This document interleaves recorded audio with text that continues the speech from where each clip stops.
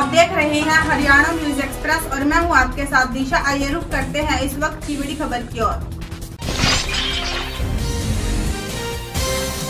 आधुनिक एवं आध्यात्मिक शिक्षा के केंद्र कलगीधर ट्रस्ट बड़ू साहिब की ओर से संचालित कन्या इटर्नल विश्वविद्यालय बड़ू साहिब ने अपना ग्यारहवा दीक्षांत समारोह पच्छाद विधानसभा क्षेत्र की शांत पहाड़ियों में बसे बड़ू साहिब में स्थापित विश्वविद्यालय के सुरमय परिसर में धूमधाम से मनाया।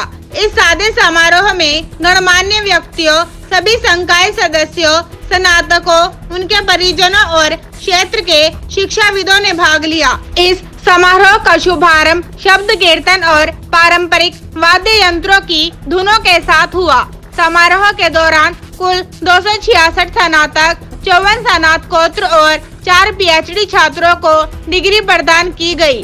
अंशिका पवार को बीएड में उत्कृष्ट प्रदर्शन के लिए स्वर्ण पदक मिला, जबकि मोनिका को एमएससी नर्सिंग में उत्कृष्टता के लिए स्वर्ण पदक से सम्मानित किया गया Gunjan Thakur BTech food technology Shilpa Chaudhary BSc nursing, Akanksha BSc economics Ankita Chauhan BSc agriculture Aanchal MSc horticulture और सुरप्रीत कौर बीए म्यूज़िक को अकादमिक उत्कृष्टता के लिए दस हज़ार रूपए का नगद पुरस्कार दिया गया राजगढ़ से हमारे संवाददाता जीडी शर्मा की report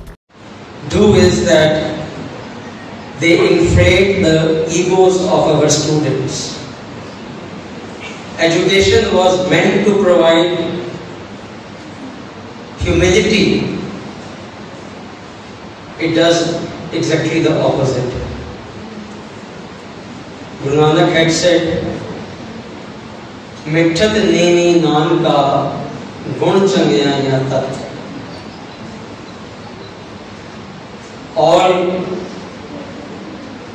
that you have to inculcate is absolute humility and you have to learn to be very humble and polite. This is, in nutshell, all the niceties and virtues. So, dear students, you will be going out into the world.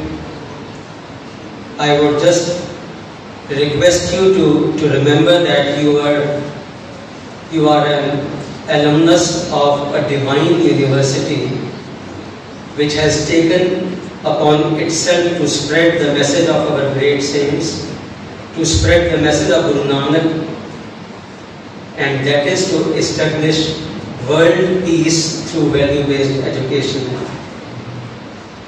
The mission statement of this university was enunciated a hundred and 20 years ago, when Satpata Singh ji had said, हमारे Facebook page को like follow और share करें। साथ ही YouTube channel को like करें subscribe करें और ताज़ा खबरों के लिए बेल आइकॉन को दबाना न भूलें।